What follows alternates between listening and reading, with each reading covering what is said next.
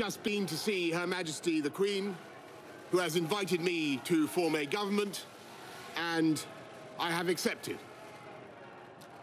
I pay tribute to the fortitude and patience of my predecessor and her deep sense of public service.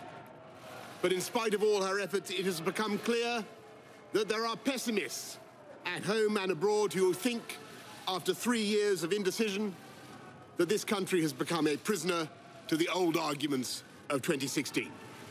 And in this home of democracy, we are incapable of honouring a democratic mandate. And so I am standing before you today to tell you, the British people, that those critics are wrong. The doubters, the doomsters, the gloomsters, they are going to get it wrong again. The people who bet against Britain are going to lose their shirts because we're going to restore trust in our democracy. And we're going to fulfill the repeated promises of Parliament to the people and come out of the EU on October the 31st. No ifs or buts.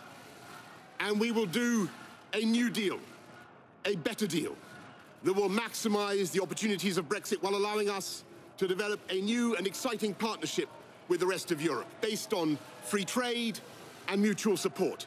I have every confidence that in 99 days' time we will have cracked it. But you know what? We aren't going to wait 99 days because the British people have had enough of waiting.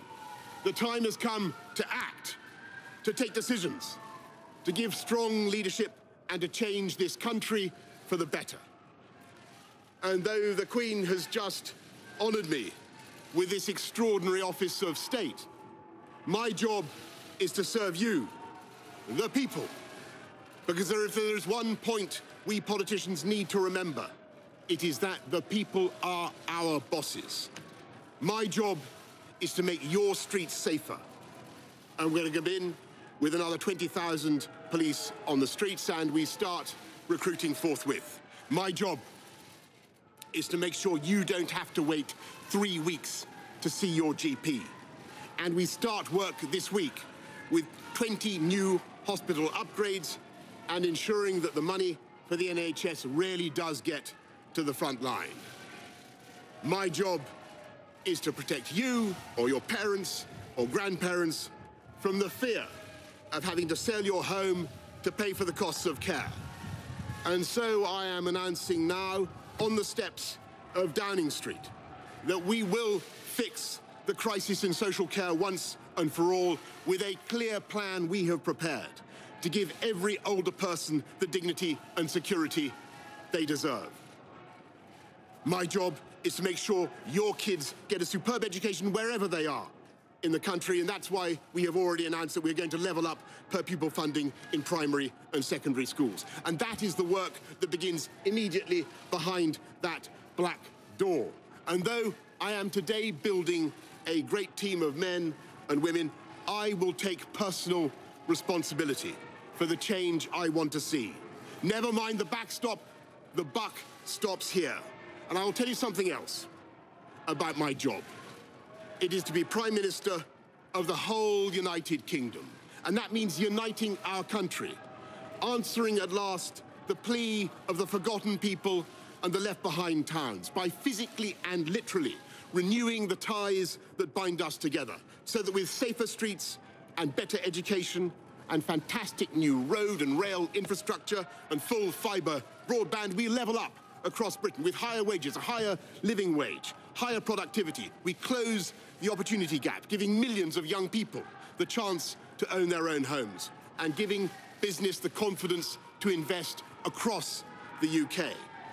Because it is time we unleashed the productive power, not just of London and the southeast, but of every corner of England, Scotland, Wales, and Northern Ireland.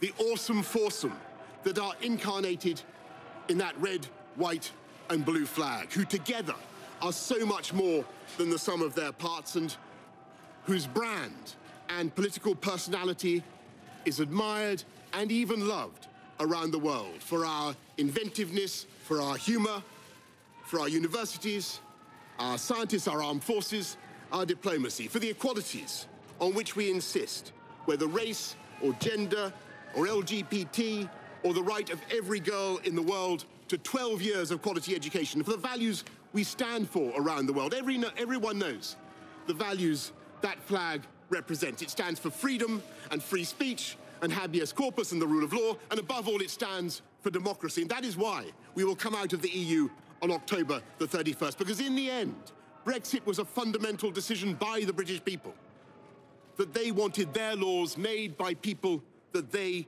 can elect and they can remove from office. And we must now respect that decision and create a new partnership with our European friends, as warm, as close, and as affectionate as possible. And the first step is to repeat unequivocally our guarantee to the 3.2 million EU nationals now living and working among us. And I say directly to you, thank you. Thank you for your contribution to our society. Thank you for your patience. And I can assure you that under this government, you will have the absolute certainty of the right to live and remain. And I say next to our friends in Ireland and in Brussels and around the EU, I am convinced we can do a deal without checks at the Irish border because we refuse under any circumstances to have such checks and yet without that anti-democratic backstop. And it is, of course, vital at the same time that we prepare for the remote possibility that Brussels refuses any further to negotiate. And we are forced to come out with no deal, not because we want that outcome, of course not, but because it is only common sense to prepare.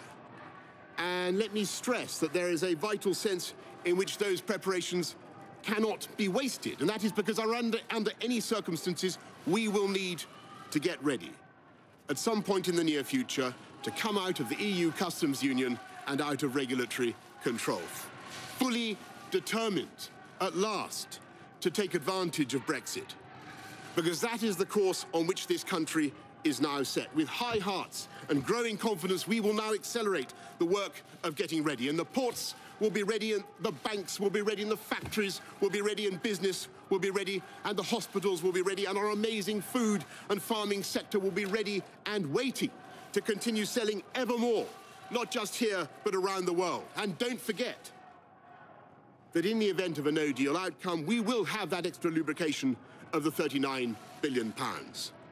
And whatever deal we do, we will prepare this autumn for an economic package to boost British business and to lengthen this country's lead as the number one destination in this continent for overseas investment. And to all those who continue to prophesy disaster, I say yes, there will be difficulties, though I believe that with energy and application, they will be far less serious than some have claimed.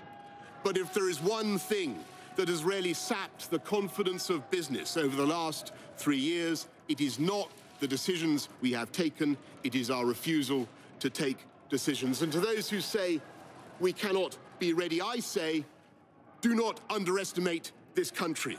Do not underestimate our powers of organization and our determination, because we know the enormous strengths of this economy in life sciences, in tech, in academia, in music, the arts, culture, financial services. It is here in Britain that we are using gene therapy for the first time to treat the most common form of blindness. Here in Britain, that we are leading the world in battery technology that will help cut CO2 and tackle climate change and produce green jobs for the next generation.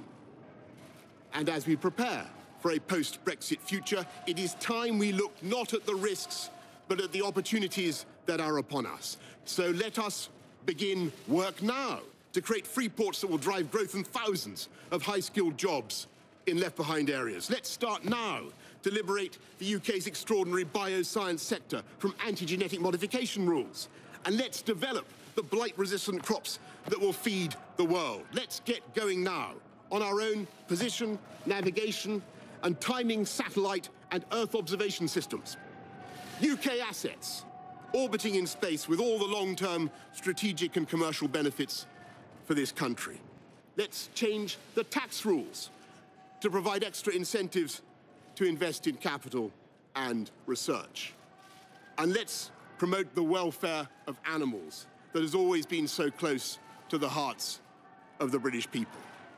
And yes, let's start now on those free trade deals. Because it is free trade that has done more than anything else to lift billions out of poverty. All this and more we can do now and only now at this extraordinary moment in our history. And after three years of unfounded self-doubt, it is time to change the record, to recover our natural and historic role as an enterprising, outward-looking and truly global Britain, generous in temper and engaged with the world. No one in the last few centuries has succeeded in betting against the pluck and nerve and ambition of this country. They will not succeed today. We, in this government, will work flat out to give this country the leadership it deserves. And that work begins now. Thank you very much.